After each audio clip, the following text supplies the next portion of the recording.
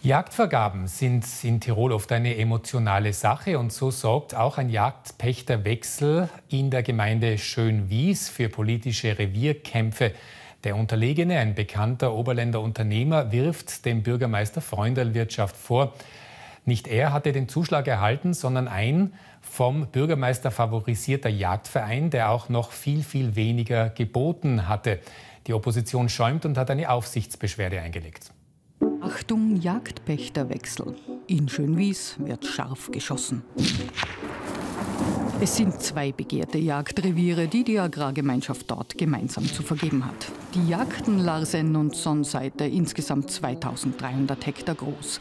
Es ist eine Gemeindegutsagrargemeinschaft und deshalb fallen die Pachterlöse auch der Gemeinde zu. 36 Jahre lang hat Erwin Bouvier, Chef der gleichnamigen Unternehmensdynastie in Zams, die beiden Reviere gepachtet. Bei der Neuvergabe fiel er jetzt durch. Was uns alle wundert, uns Anbieter, dass man es ausgeschrieben hat im Februar, die Jagd. Und war aber von vornherein klar, wer sie bekannt. Und das ist, muss ich schon sagen, das hat mit einer Sachentscheidung nichts zu tun. Das ist eine politische Entscheidung. Sie haben das Gefühl, es ist Freundelwirtschaft? Ja, ich habe das Gefühl, es ist Freundelwirtschaft. Das hat mit Freundelwirtschaft nichts zu tun. Und das geht in unserem Gemeinderat nie um Freundelwirtschaft, sondern um Sachlichkeit, um dementsprechende Fakten. Sieben Angebote wurden für die Jagd gelegt. Sie reichen von 12.000 Euro bis 23.700 Euro netto pro Jahr. Der Gemeinderat beschloss allerdings nicht, den Höchstbieter zu nehmen. Es solle jemand aus der Gemeinde sein. So kam der Schönwieser Jagdverein zum Zug, für den der Bürgermeister besondere Sympathien hegt. Ein Verein, der eigens zu diesem Zwecke gegründet wurde. Der bot zwar am zweitwenigsten, soll aber dafür umso mehr Vorzüge haben. Ausschlaggebend ist für einen Jagdverein, dass im Grunde genommen eine breite Basis an Jäger zukünftig auf die Birsch gehen können, insgesamt 25 in zehn Jahren.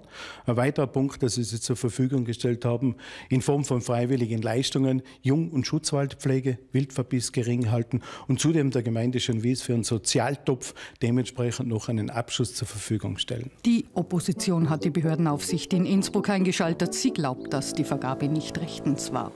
Auch im Gemeinderat wurde dies ausführlich diskutiert. Neben dem aus unserer Sicht Bestbieter, dem bisherigen Jagdpächter, gibt es auch noch ein klar besseres rein Schönwieser Angebot mit Garantien, dass auch Schönwieser jederzeit auf die Jagd gehen können.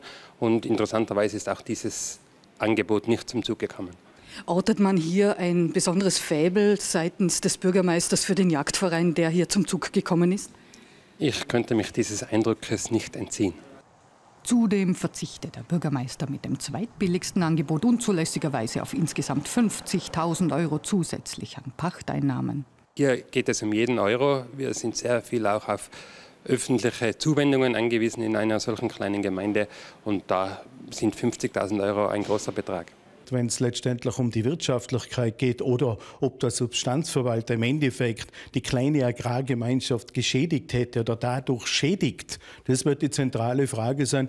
Das hat natürlich dementsprechend äh, die, die äh, Behörde in Innsbruck, sprich die Agrarbehörde, zu beurteilen. Und da läuft derzeit ein Ermittlungsverfahren, was sie natürlich schwer dokumentieren kann oder interpretieren will.